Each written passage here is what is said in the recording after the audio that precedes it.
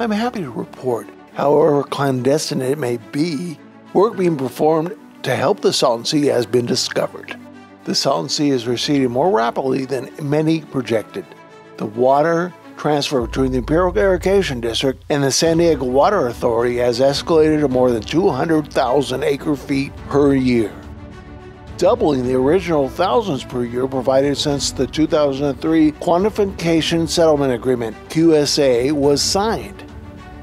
The California Natural Resources Agency has started progress to help the Salton Sea with what they have named the Salton Sea Management Program, SSMP.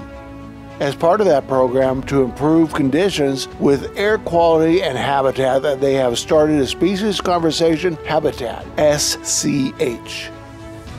The state cares about the environment through the California Natural Resources Agency, CNRA whose mission is to restore, protect, and manage our state's resources.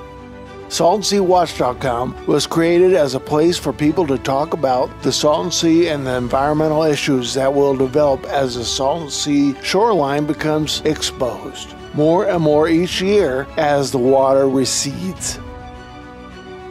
The Salton Sea's demise will only affect one of our country's greatest riparian corridors. It will create one of our state's largest health issues as the sea recedes. People from other states complained about the smell of California's wildfires. How far will the effects be as California's largest lake dries up and blows toxic dust? Now is the time to become involved. Visit saltonseawatch.com and stay informed.